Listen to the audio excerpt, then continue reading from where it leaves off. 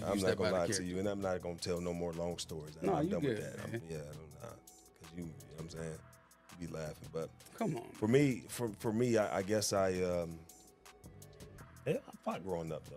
You know what I mean? We all It- did. it- we all did. Oh, you had more fights than me. Okay, that's the. Oh, last episode, uh, we moved to Boardman and I lost my hood in me. Remember that?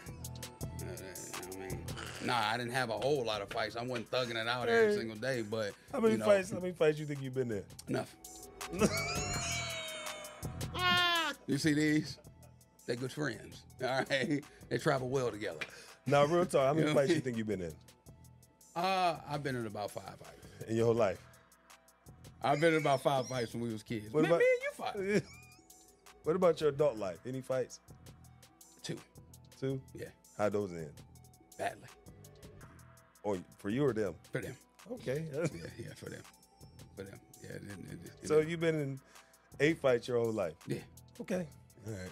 yeah. I respect I, I regret. I regret a lot of them. I mean, because you should never. A lot of them. Well, say, listen. I, I was going to say, you should never resort to violence, but some people do just need a tune-up, man. For real. I got you. So you saying they deserved it? Huh? They deserved it. Based off of their mouth and their actions, yes. Did you strike first or did they strike? Never. Oh, okay. Never. Yeah, I'm sorry. I, I would listen. I was striking, Oh, I kn- you- yeah.